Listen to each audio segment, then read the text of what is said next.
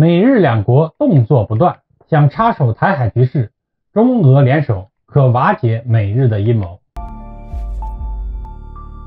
各位网友，大家好，我是卢忠诚，欢迎关注本期中诚 Talk。在2022年的东盟峰会和 G20 峰会期间，美国和日本的表现攻击性十足。一边是美国总统拜登再次强调美国要和中国进行激烈的竞争，另一边。在东盟加三峰会上，当其他所有国家都采用和平方式发表各自观点时，唯独日本言辞激烈的对中国横加指责，包括对中国东海以及台海事务指手画脚，还反复将中国塑造成所谓的地区威胁。事实上，在过去的一段时间里，日本的表现一贯和美国围堵中国的政策保持高度一致。在美国拉拢东盟国家失败后啊，日本。则希望发挥其在东南亚独特的影响力，帮助美国打开局面。面对美日两国沆瀣一气、咄咄逼人，中国早就准备好了应对之策。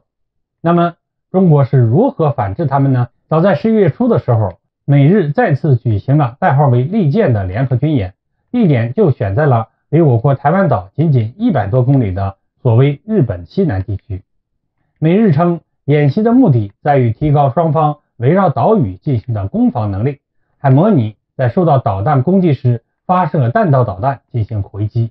此举显然是针对我们中国，甚至是为了将来在我解放军被迫使用非和平方式完成祖国统一时，为岛内巨统势力撑腰做准备。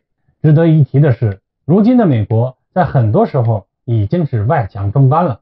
就以军演为例，以前美国都是绝对的主导地位。其他参演国家就是打酱油的，美军航母打击群包揽了一切。然而，再看现在的美日军演，美军的任务占比逐渐降低，日本扮演的角色是越来越多。日本海自在演习中不仅要承担反潜和登陆的任务，还要肩负海上警戒巡逻和正面作战的职责。这些都说明美国实力下滑，已经不能独当一面应对当前复杂的局势了。当然。这也暴露出美国正在将盟友推到前沿阵地当炮灰。针对美日的军事冒险动作，我解放军毫不示弱，直接宣布在南海和黄海两个方向举行海上演习。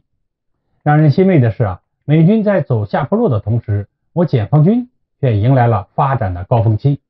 随着歼二零隐身战斗机、零零三航母、零五五万吨大驱以及东风二幺 D 二六。等高精尖武器的批量入役，美军在亚洲对解放军不仅没有技术优势，而且连数量优势都在被逐渐追平。因此，美军正试图把日本也打造成一支能够独立作战的力量，以便在未来台海发生危机时啊，能够作为岛内巨统势力的侧应，给我解放军制造压力。美国自己则继续躲在第二岛链，继续拱火，将冲突扩大化。不过很可惜，这一切大概率都只是美日的一厢情愿罢了。事实上，面对美日咄咄逼人的气焰，中国也有自己的解决之道。中俄两国在军事外交上的合作一直都很密切，两军经常进行交流。中俄作为被西方无理由打压的国家，可谓是难兄难弟，高度互信。